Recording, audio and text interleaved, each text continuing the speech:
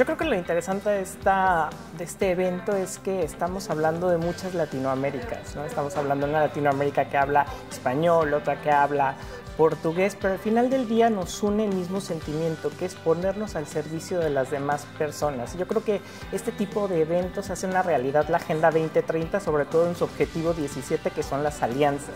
Lo que estamos hablando el día de hoy son de aliarnos, de conectar, de generar buenas prácticas en donde podamos aprender los unos de los otros. No estamos solos. Me encanta eh, esto que hemos aprendido el día de hoy tener de manera transversal sí el monitoreo, sí el impacto, pero sobre todo esta perspectiva de inclusión y diversidad.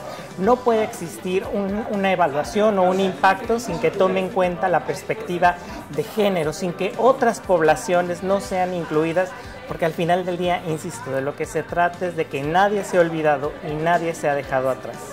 Los proyectos sociales, si bien tienen esta vena de filantropía, pero también tiene una vela de impacto social y económico, necesitan ser evaluados en términos de los impactos que efectivamente están realizando. Se trata de un ejercicio de eh, eh, autocrítica, pero también de accountability. ¿Qué tanto estamos siendo responsables por las acciones que implementamos en terreno, en campo, pero sobre todo qué tanto estamos transformando la vida de las personas?